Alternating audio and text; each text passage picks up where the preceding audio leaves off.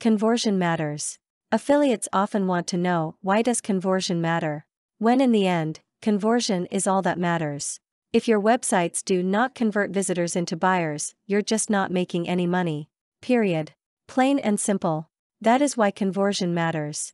But to go a step further, conversion as it matters to you, the big dog affiliate marketer, isn't just about what one or two visitors do, it's about what the masses at your website do.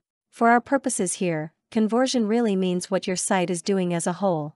We can't reasonably expect that every visitor to your site will convert into a buyer, but wouldn't it be nice if we could? You do need to know that overall, however, what you are doing on your site is working. Conversion is about rates and statistics and sales, and unfortunately, there are no real solid rules that apply. You cannot make sweeping judgments because the rules will be different for each and every product that you have. Each product and niche has its own set of needs. What you can do is maximize the profitability of your site. The way to do that is to test and change and tweak your content and your website until you have gotten the highest amount of sales and profitability that you can. There are ways to do that, and that's what we'll talk about next, but by and large, there is a definite element of trial and error involved in converting website visitors into buyers.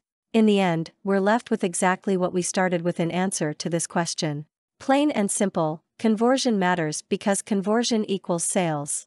Learn the art of the conversion, and you'll have one more of the crucial pieces of the affiliate marketing puzzle.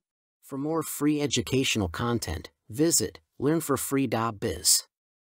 Content produced and distributed by AllSuperInfo.